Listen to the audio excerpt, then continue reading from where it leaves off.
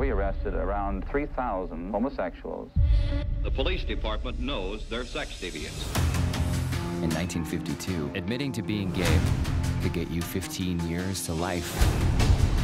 Cops would contact our employers, publish our names and addresses in the paper. We were going to lose our jobs, lose our homes. We were tired of being victims. I declared under oath that I was homosexual. I wasn't ashamed of it. For the first time, we went in saying we had the right to be who we are. We should be standing up on our hind legs and demanding our full equality. We are all fed up. You can be proud of being gay. You can be proud of being yourself. That in itself is radical. Are you a man or a woman? Well, dear, first one has to determine what is a man and what is a woman.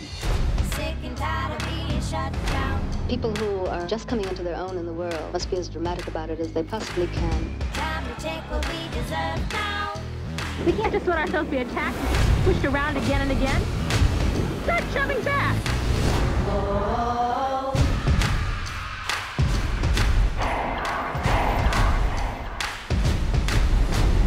You can't force us into your boxes anymore. We are not going. What do you say?